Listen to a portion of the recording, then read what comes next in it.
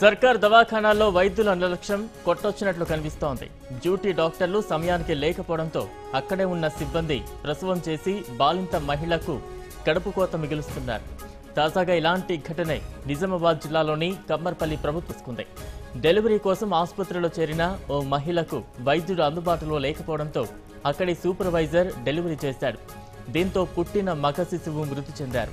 దీంతో వైద్య సిబ్బంది నిర్లక్ష్యం వల్లే తమ బాబు మృతి చె- చెందాడంటూ బంధువులు ఆందోళనకు దిగారు.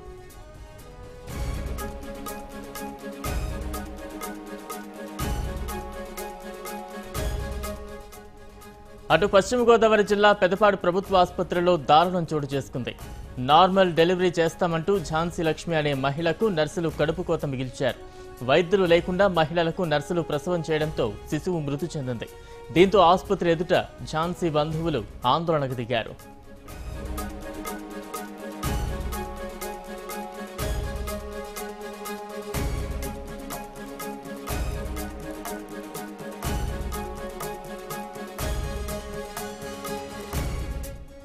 మరింత అప్డేట్స్ మా ప్రతినిధి నవీన్ అందిస్తారు. నవీన్ సర్కార్ దవాఖానాల్లో వైద్యుల నిర్లక్ష్యం మరోసారి బయటపడింది. దీంతో ఇద్దరు శిశువులు ప్రాణాలు కోల్పోయిన పరిస్థితి. ఎలాంటి అప్డేట్స్ ఉన్నాయి? బలగం డాక్టర్ లక్ష్యంతో ఒక అప్పుడే పుట్టిన పసికందు మృతి మృతి చెందింది. ఈ సంఘటన నిజామాబాద్ జిల్లా కమ్మార్పల్లి మండల ప్రభుత్వ కళాశాలలో ప్రభుత్వ ఆసుపత్రిలో చోటు చేసుకుంది. అయితే కమ్మర్పల్లి మండల కేంద్రానికి చెందిన రేణుక నర్సయ్య గత రెండు కాన్పుల్లో ఆడపిల్లలు జన్మించారు. అయితే మూ- మూడోసారి అయినా మగ పిల్లడు పుట్టాలంటూ గత కొన్ని రోజులుగా ఇటు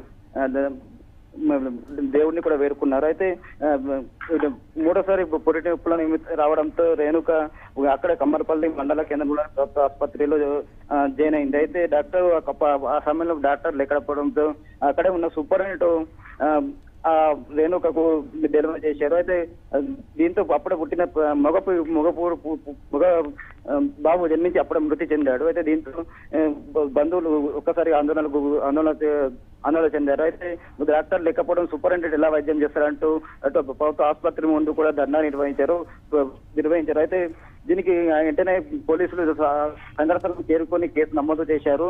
అయితే తమ డాక్టర్ పై డాక్టర్ లేకపోవడం ఎవరైతే రేణుకకు డెలివరీ చేశారో. సూపరింటెండెంట్ పై తగిన చర్యలు తీసుకోవాలంటూ క్రిమినల్ కేసు నమోదు చేయాలని చెప్పి ఆందోళన ఆందోళన కూడా అక్కడ ప్రభుత్వ ఆసుపత్రి ముందు కూడా ఆందోళన దిగారు.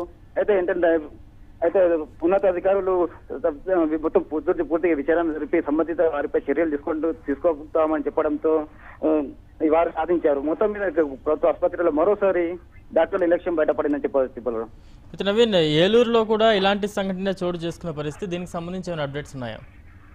ఆ ఏలూరులో కూడా అక్కడ డాక్టర్ లేకపోవడం నర్సులు ఒక ఆ, అప్పుడే డెలివరీ వచ్చిన ఆమెకు డెలివరీ చేశారు. అయితే దీంతో అక్కడ అక్కడ పసిక అప్పుడే పుట్టి పసికందుకు మృతి చెంది. దీంతో వాళ్ళు అక్కడికి సంబంధించిన బంధువులు కూడా అక్కడ ఆసుపత్రి ముందు కూడా ఆందోళనకు దిగారు. అయితే అక్కడ పోలీసులు కేసు విచారణ చేపట్టి విచారణకు విచారణ చేపడుతున్నారు. మొత్తం మీద ఇటు ఏలూరులో కావచ్చు ఇప్పుడు నిజామాబాద్ జిల్లాలో కావచ్చు పూర్తిగా డాక్టర్లు నిల ప్రభుత్వ ఆసుపత్రిలో మరోసారి డాక్టర్ల నిర్లక్ష్యం బయటపడిందని చెప్పవచ్చు రైట్ నవీన్.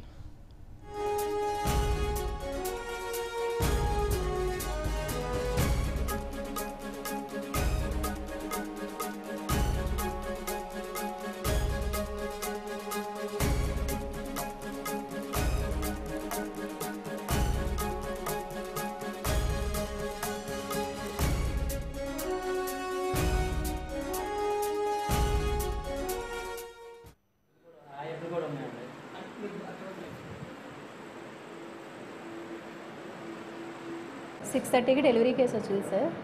ఇంకో స్టాఫ్ గారు నాకు హ్యాండ్ ఓవర్ చేసి వెళ్ళారు సార్. అప్పటి నుంచి డెలివరీ ప్రాసెస్ జరుగుతూనే ఉంది సార్.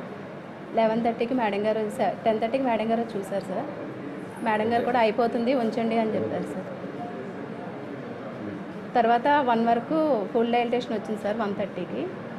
సరే అప్పుడు డెలివరీ రూమ్లోకి తీసుకెళ్ళాను సార్ ఆవిడని. తీసుకెళ్ళేసరికి పడుకోబెట్టాము.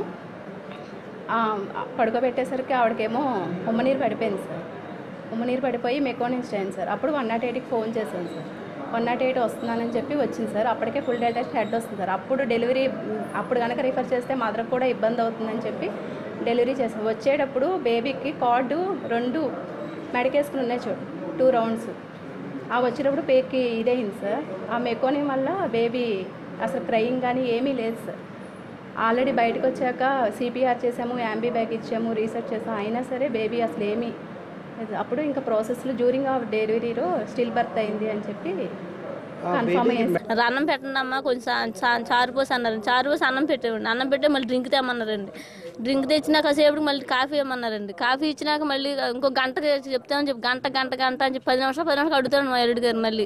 ఏమైనా కావాలంటే చెప్పండి మేము తీసుకెళ్ళిపోతాం వేరే హాస్పిటల్కి అని చెప్పారండి. అయినా సరే వాళ్ళు మేము బాగానే ఉంది. అంబులెన్స్ వచ్చే వరకు కూడా చెప్పలేదండి అసలు. అంబులెన్స్ వచ్చిన గంట వెయిట్ చేశారండి అక్కడ. అయినా ఎందుకని ఆయన మళ్ళీ లోపలికి వెళ్ళి మమ్మల్ని అంతసేపు నుంచి మాకు వేరే కేసు నుంచి వాళ్ళు కంగారు పడుతుంటే మా కంగారు పుట్టింది టెన్షన్ వస్తుంది కానీ వాళ్ళకి మాత్రం ఆ లోపలే ఉన్నారండి నలుగురు నలుగురు ఉన్నారండి లోపల. వాళ్ళు ఏంటి అన్నది అంటే వాటర్ అడుగుతున్నారు క్లాత్లు అడుగుతున్నారు అయ్యి అడుగుతున్నారు అడుగుతున్నారు కానీ ఏంటంటే ఏం అవ్వలేదు అయిపోతుంది అయిపోతుంది. పది నిమిషాలు పది నిమిషాల్లో ఉంటాం మేము పది నిమిషాలు ఏమాట చెప్పేస్తాం అంటున్నారండి. వాళ్ళు ఏమాట చెప్పలేదండి లాస్ట్కి వచ్చేసి శవాన్ని చూపించారండి.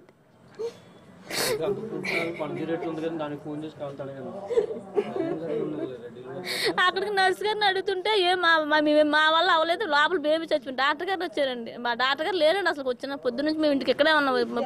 టిఫిన్ కూడా చేయకుండా పొద్దు నుంచి పడి కాపలా కాసుకుని ఉన్న. ఆ డాక్టర్ గారు కూడా లేరు.